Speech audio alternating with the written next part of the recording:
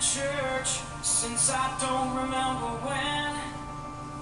Things were going great till they fell apart again. So I listened to the preacher as he told me what to do.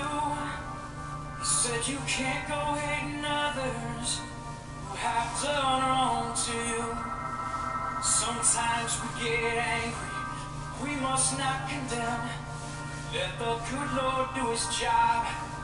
You just pray for them. I pray your brakes go out, running down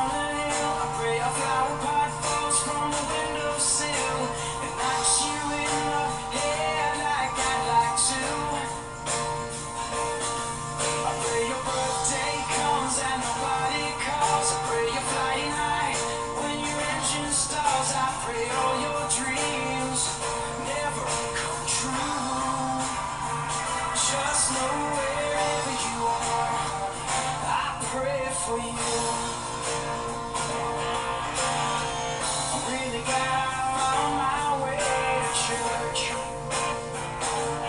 I'm already feeling better and I thank God for the words.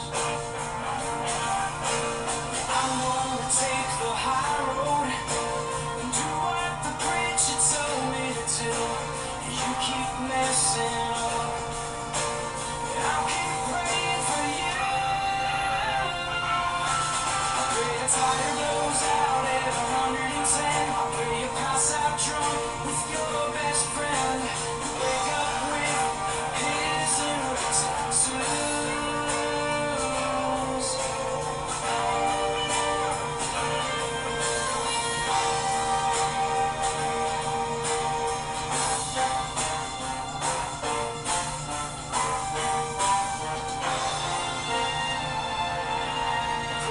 place go